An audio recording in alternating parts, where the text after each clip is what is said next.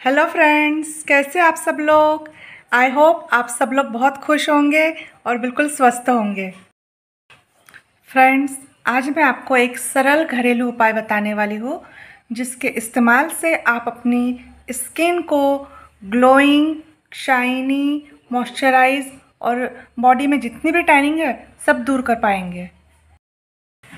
Friends आज मैं आपको एक उपटन बताने वाली हूँ और वो उपटन बहुत ही सिंपल है और बहुत ही सरल है।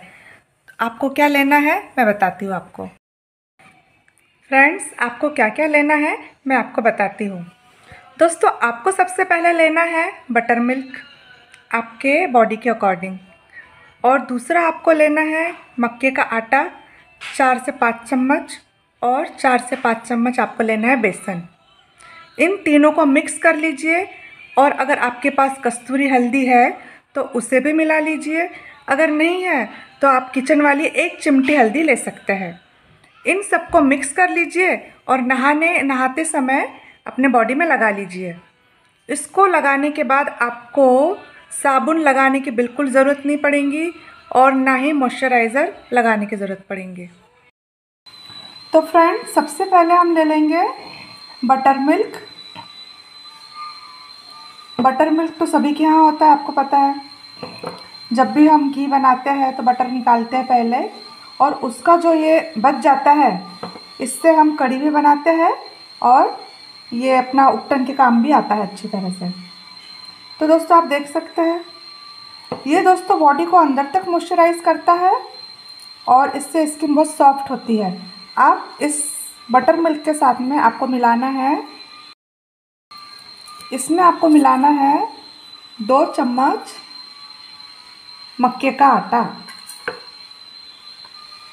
मक्के का आटा मोटा होता है, आप देख सकते हैं, देखिए।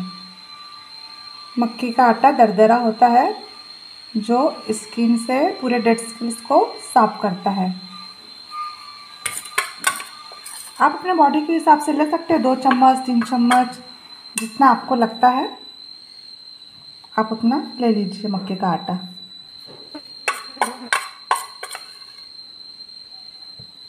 इसको लगा, इसको लगाने के बाद आपको साबुन का यूज़ नहीं करना है।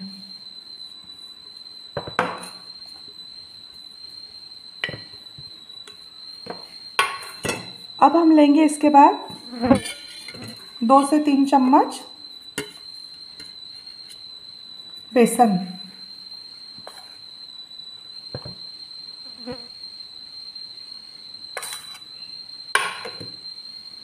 बेसन देख लीजिए, कितना चिकना है। और मक्के का आटा दरदरा।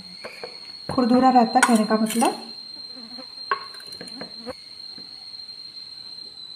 इसमें आप चाहे तो एक पिंच हल्दी भी डाल सकते हैं, लेकिन मैं यूज़ नहीं करूँगी।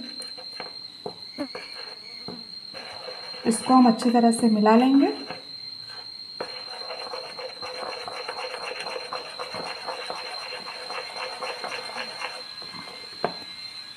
कंसल्टेंसी आप अपने हिसाब से कर लीजिए। आपको जितना गाढ़ा चाहिए, पतला चाहिए, मैं थोड़ा सा और डालूँगी इसमें बेसन।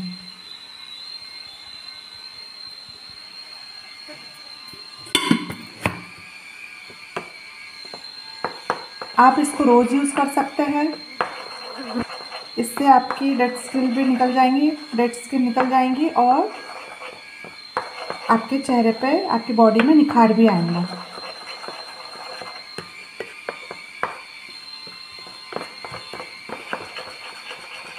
इसको, इससे नहाने के बाद आपको मॉइस्चराइज़र की भी ज़रूरत नहीं पड़ेगी। और बॉडी एकदम सॉफ्ट सॉफ्ट और निखरी, निखर जाएँगी। तो फ्रेंड्स आप इस उपटन को, इस उपटन से रोज़ नहाइए। इससे जो सन टैनिंग हो जाती है, वो भी दूर हो जाती है। डेड स्किन जो है, वो भी निकल जाती है। और बॉडी को मॉइस्चराइज करती है बिल्कुल। और त्वचा निखर जाती है। मैं इसको दोस्तों रोज़ यूज़ करती हूँ और ना ही मैं इसको कभी इसके बाद में मॉइस्चराइज़ का यूज़ कर, बिल्कुल नहीं करती। तो आप भी इस उपटन से जो रोज़ नहाएँ और मुझे कमेंट्स करके बताएँ कि इसके नहाने से आपको क्या क्या लाभ मिले। तो फ्रेंड्स आपको अगर मेरी ये वीडियो यूज़फुल लगी हो तो मेरे चैनल को लाइक कीजिए सब्सक्राइब कीजिए और शेयर कीजिए अपने दोस्तों के साथ।